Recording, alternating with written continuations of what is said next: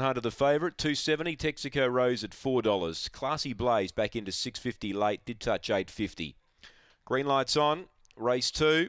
Favourite Corborn Hunter. They're ready.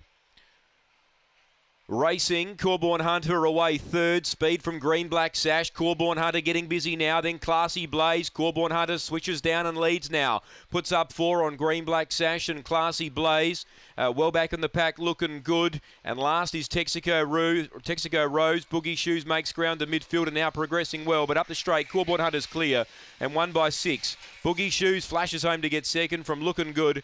Then Green Black Sash and Classy Blaze. They're in a photo for fourth and Texaco Rose was tiring to finish last of all.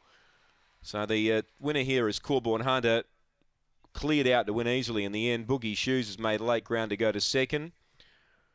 And uh, third we await upon. Number eight, Corborn Hunter, was able to get a clear run early and swish down on top of a few to hit the lead and dash clear. Boogie Shoes came home well into second and two, looking good, has progressed into